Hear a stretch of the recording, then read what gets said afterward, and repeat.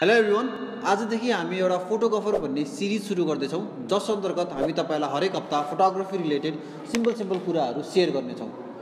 आजको हाम्रो टपिक हो rule of third rule of third भन्ने टपिक चाहिँ हजुरले आफ्नो कुनै पनि क्यामेरा अर्थात् डिएसएलआर पोइन्ट एन्ड सुट अनि मोबाइलमा पनि अप्लाई गरेर आफ्नो फोटोग्राफी केही हदसम्म इम्प्रुभ हुन सक्नुहुनेछ।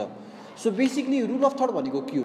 रुल अफ थर्ड भनेको चाहिँ यदि हामीले हाम्रो स्क्रिनमा दुईवटा भर्टिकल लाइन र दुईवटा होरिजेन्टल लाइन ड्र गऱ्यौँ भने चाहिँ हाम्रोमा चारवटा मिड पोइन्ट ड्र हुन्छ।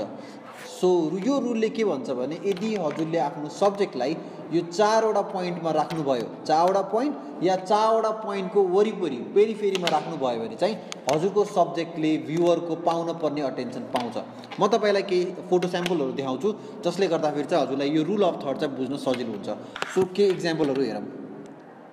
सो सो तपाईँले यहाँ देख्दै हुनुहुन्छ चारवटा हामीले लाइन ड्र गरेको छौँ। दुईवटा होरिजेन्टल दुईवटा भर्टिकल र हाम्रो मिड पोइन्ट चाहिँ चार ठाउँमा भएको छ। सो यो फोटोमा क्लियरली के देखिन्छ भने चाहिँ यो फोटोमा सब्जेक्ट चाहिँ बच्चा हो। सो यस्तै गरी म तपाईँहरूलाई अरू मैले खिचेको केही फोटोहरू देखाउँछु।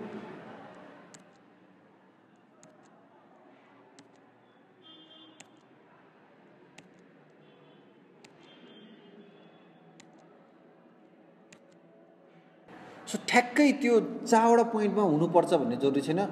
चारवटा पोइन्ट या चारवटा पोइन्टको पेरिफेरीमा भए पनि हजुरको सब्जेक्टले पाउनुपर्ने अटेन्सन चाहिँ पाउँछ।